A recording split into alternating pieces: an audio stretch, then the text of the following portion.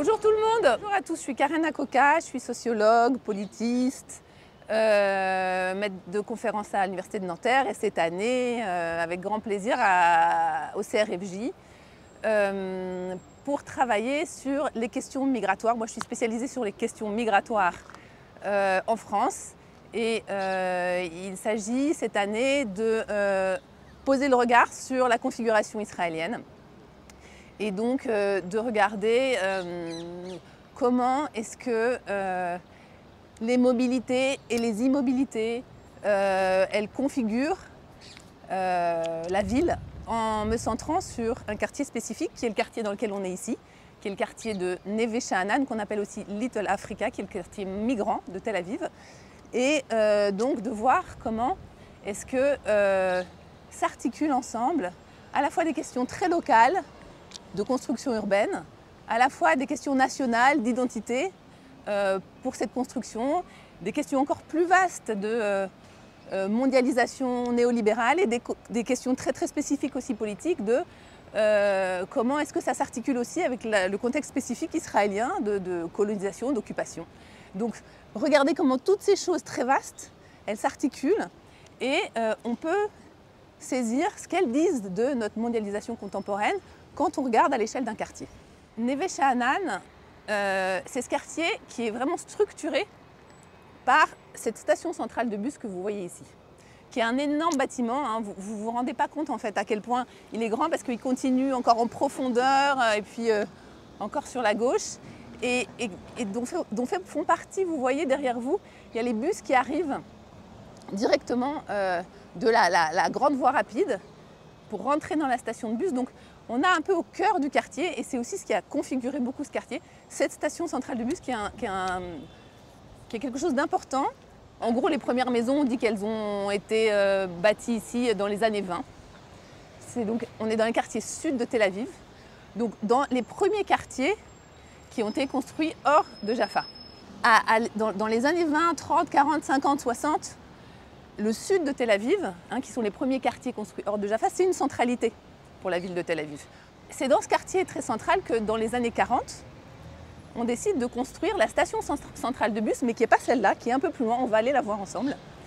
Cette station centrale de bus, elle a des effets tout de suite très négatifs. Parce qu'elle est mal conçue, euh, parce que ça fait du bruit, parce que ça fait des passages, ça va avoir comme effet de commencer à vider le quartier de ses habitants qui vont aller dans d'autres quartiers. Donc en fait, c'est très très tôt pas du tout, parce qu'on croit souvent que c'est avec l'arrivée des populations migrantes dans les années 90 que ce quartier s'est détérioré, mais ce n'est pas du tout ça, cette histoire. L'histoire, c'est que dès les années 60, avec la construction de cette station centrale de bus, le quartier a commencé à se vider de ses habitants. Les commerces euh, se sont donc vidés, il y a eu des, immeubles vides, et ça a commencé à devenir un quartier euh, euh, où on ne retrouvait plus qu'une population fragile, fragilisée. Donc c'est assez vite en 1963 qu'on décide qu'il faut détruire cette petite station. Aujourd'hui, elle paraît petite, hein, cette station centrale de bus donc qui, est, par là-bas, euh, l'ancienne station de bus, pour en construire une plus grande. Et le projet, en fait, c'est de construire une immense station de bus qui soit aussi un immense centre commercial, qui soit un endroit absolument central. Le projet, c'est qu'il y ait un million de personnes qui passent tous les jours. Vous savez que ici, il y a 6 millions d'habitants, donc vous imaginez l'ampleur de, de la, projection. Et donc donc que ce soit le plus, grand centre commercial qui soit aussi un centre routier euh, et, qui devienne, qui fasse, qui fasse de ce quartier un quartier de très grande centralité. Je dis plein de fois le mot centre. Euh, et, en espérant aussi hein, que ça va avoir des effets positifs sur le quartier.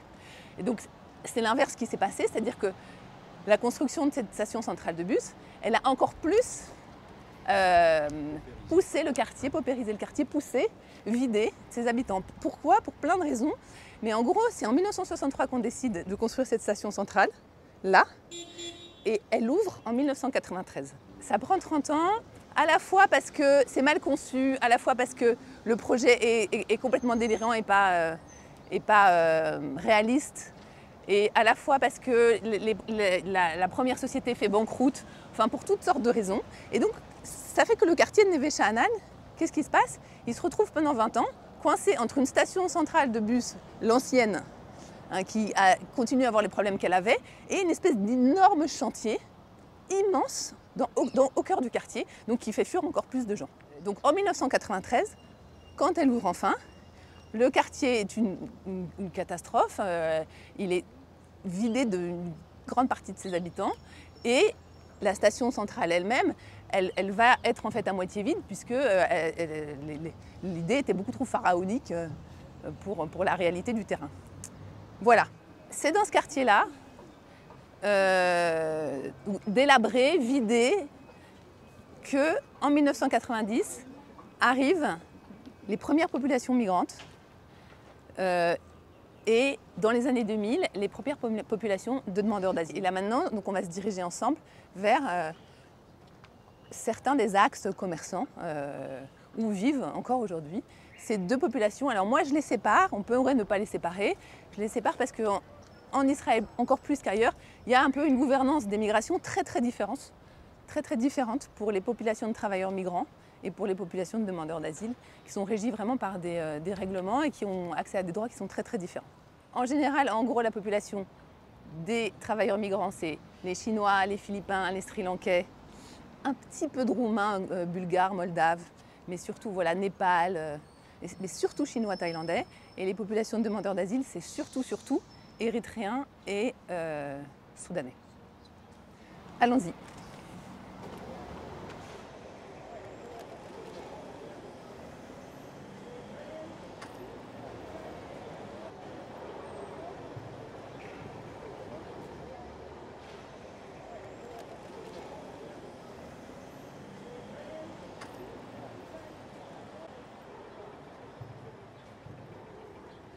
Alors, donc là, on est dans une rue qui donne sur la station centrale de bus, qui est parallèle à la grande rue qui s'appelle euh, Neve Elle n'est pas grande, mais c'est la rue piétonne, donc c'est là où il y a vraiment tous les commerces, on va passer.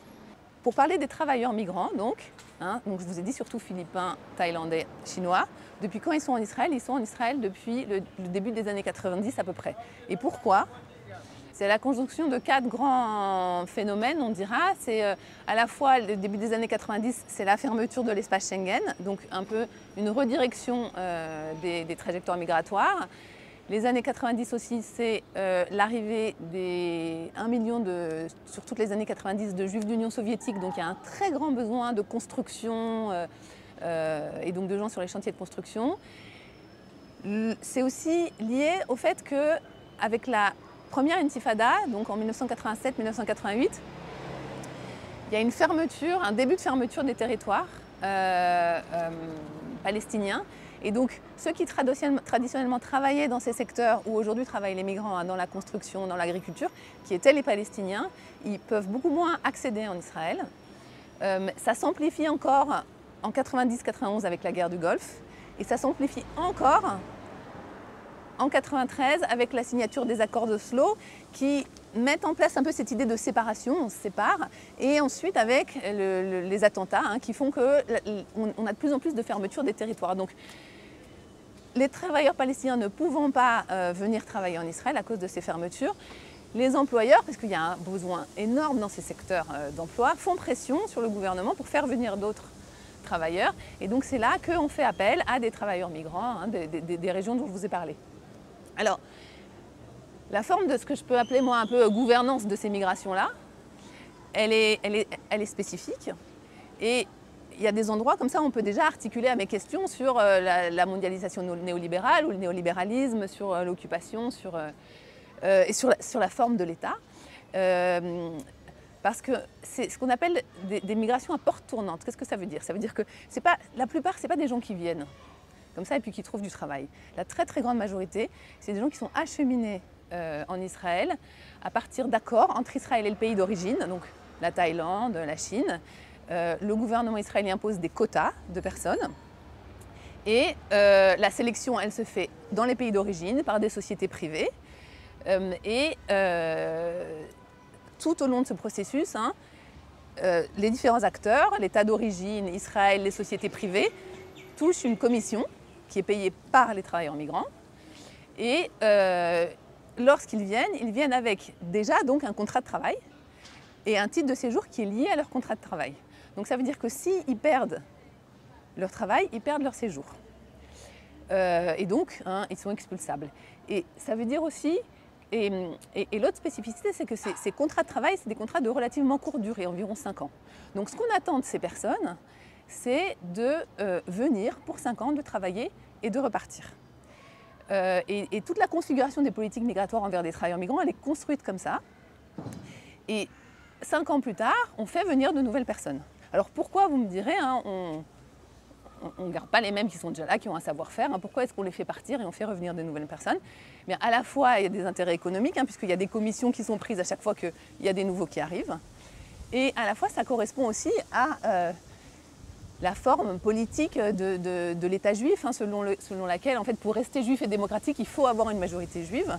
Et donc, euh, une grosse pression pour euh, surtout euh, qu'il n'y ait pas une installation durable de populations non juives ici. Donc une structuration hein, des politiques migratoires qui est faite pour qu'il n'y ait pas d'enracinement possible de ces populations-là. Il y a beaucoup d'autres choses aussi dans les politiques migratoires qui, qui vont dans ce sens-là. Hein. Il y a des lois qui quelquefois ont été retoquées par la Cour suprême euh, et le rôle de la Cour suprême euh, d'Israël est extrêmement important parce qu'il la plupart des lois ici envers les travailleurs migrants, elles sont extrêmement restrictives et quelquefois elles sont euh, retoquées par la Cour suprême après que les associations de défense des étrangers hein, l'aient interpellées. Donc par exemple, pendant un certain moment, les femmes, si elles tombaient enceintes, les femmes migrantes, eh ben, elles devaient repartir, elles n'avaient pas le droit de tomber enceintes, leur titre de séjour ne pouvait pas être renouvelé, leur contrat de travail ne pouvait pas être renouvelé.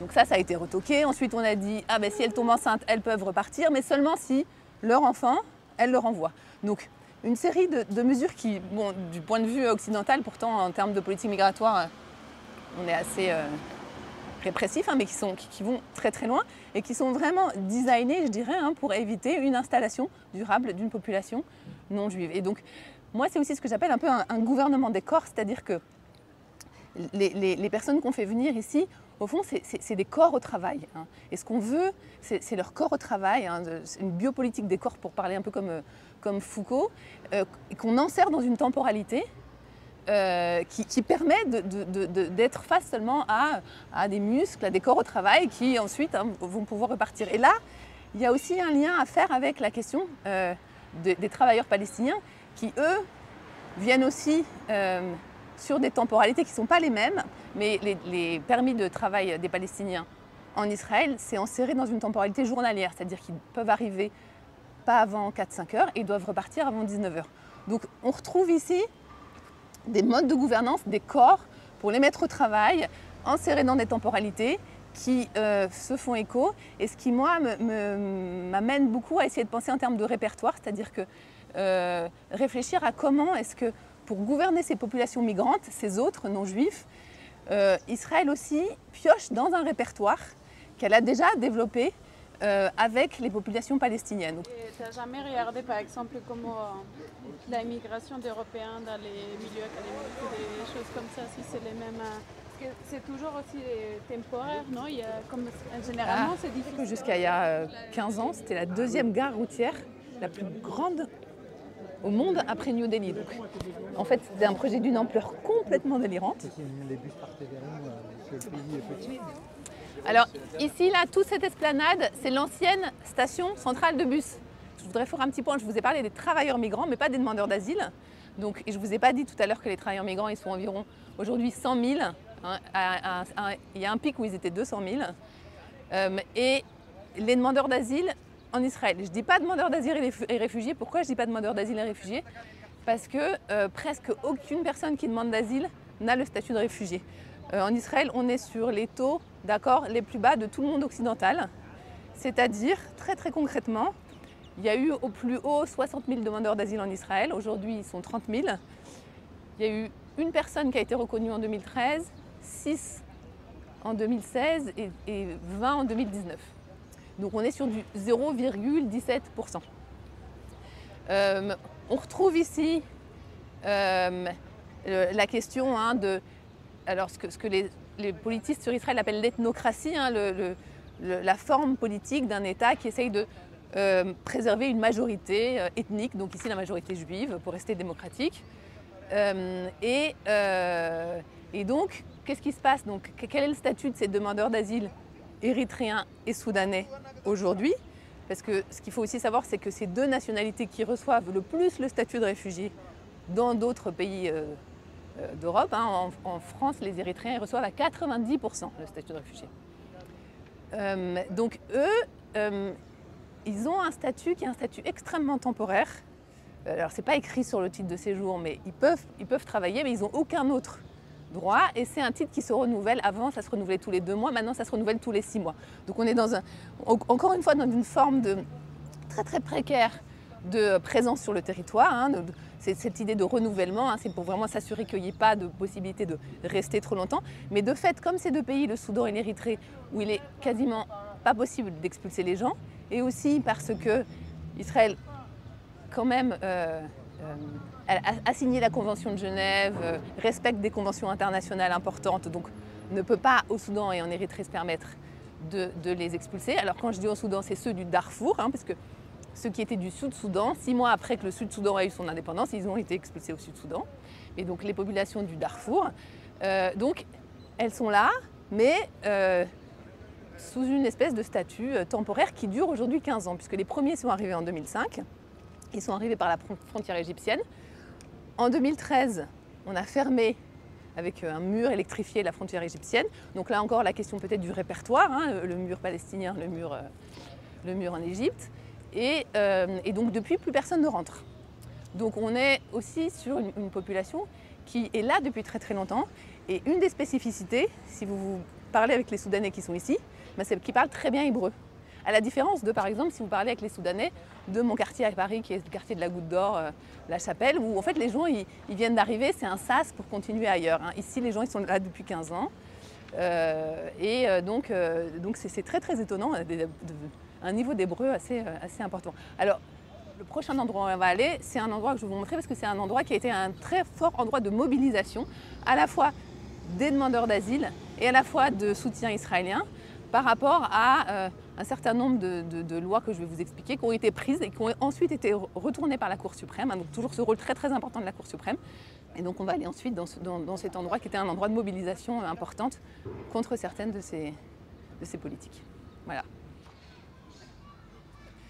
Donc voilà, donc ici on est dans ce square Levinsky, euh, là où il y a eu les grandes mobilisations de 2014. Euh, donc je vous ai dit, hein, il y a jusqu'à euh, environ 30 000 demandeurs d'asile qui se sont mobilisés, ce qui est vraiment un nombre assez extraordinaire, avec des soutiens israéliens. C'est à cette occasion qu'il y a beaucoup d'Israéliens qui ont découvert la thématique hein, de la demande d'asile, des taux d'accord, etc. et après ça, il y a eu beaucoup, beaucoup de, d'organisations qui se sont créées, euh, d'associations qui se sont développées, euh, donnant toutes sortes d'aides. Euh, c'est un endroit qui était aussi important parce que, avant même la mobilisation de 2014, donc il y avait déjà ces, premières lois qui prévoyaient d'emprisonner les demandeurs d'asile indéfiniment, trois ans, un an, selon les bras de fer avec la Cour suprême. Et quand ils sortaient donc des prisons qui se trouvaient dans le Negev, donc ils sortaient de prison et on leur donnait un billet de bus pour Tel Aviv. Et donc ils, souvent ils avaient été pris à la frontière euh, égyptienne en traversant. Ils connaissaient personne, ils ne parlaient pas l'hébreu, ils avaient passé six mois en prison. Ils avaient leur billet, ils arrivaient où? À la station centrale de bus. Et là, ils venaient là. Et il y a beaucoup de gens euh, qui venaient ici, qui attendaient, et à partir de là, qui ont pu être orientés vers des associations. Euh, par exemple, récemment, j'ai parlé avec euh, un, monsieur qui a aujourd'hui une trentaine d'années, Ousmaïn, qui lui a passé la frontière à 13 ans, donc qui a été incarcéré pendant 6 mois, qui est arrivé ici, qui connaissait personne, à 14 ans, qui a attendu, qui a dormi là 2, 3 jours, jusqu'à ce qu'un travailleur social le repère et lui trouve un internat. Et du coup, il, après, il est resté jusqu'à ses 18 ans dans un internat religieux, où il a appris le Talmud, etc. Donc il y a beaucoup d'histoires comme ça assez incroyables. Et, euh, ce square Levinsky, c'est un endroit un peu important pour donc à la fois euh, que les personnes s'orientent, trouvent euh, où aller et ce moment de mobilisation de 2014. Alors vous voyez là derrière moi, il y a, une école. Donc ce qui s'est passé, c'est qu'il y a plusieurs écoles. Il y a celle-là, il y en a une là, il y en a une derrière.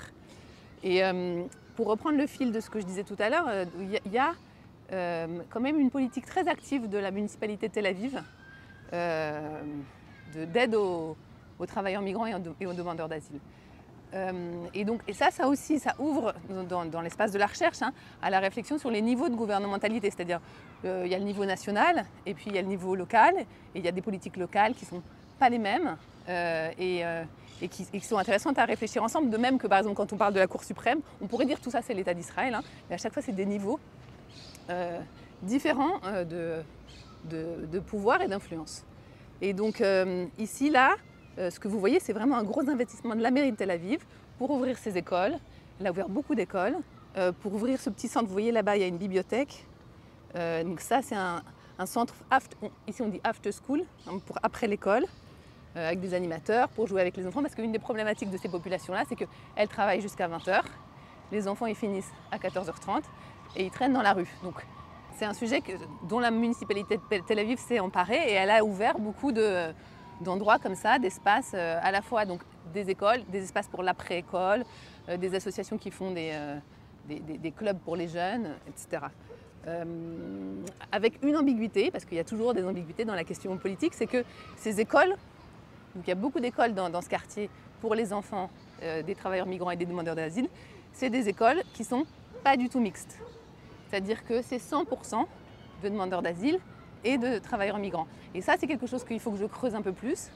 Mais c'est une politique volontariste de ne pas mélanger des Israéliens avec euh, ces enfants-là. Et donc il y, a déjà des parents qui ont saisi les tribunaux pour essayer de mettre les enfants dans d'autres écoles. Et c'est difficile, c'est un bras de fer. Ce que dit la municipalité de Tel Aviv, c'est que c'est mieux pour ces enfants euh, d'être entre eux, à leur rythme. Et, euh, c'est une vraie... Euh, et, là encore, se prépare en ce moment par les associations mobilisées une pétition devant la Cour suprême contre ce qu'ils appellent la ségrégation à l'école politique de la municipalité de Tel Aviv, dont on va bientôt, hein, dans, les, semaines qui viennent, avoir une réponse. Ils n'ont pas énormément d'espoir.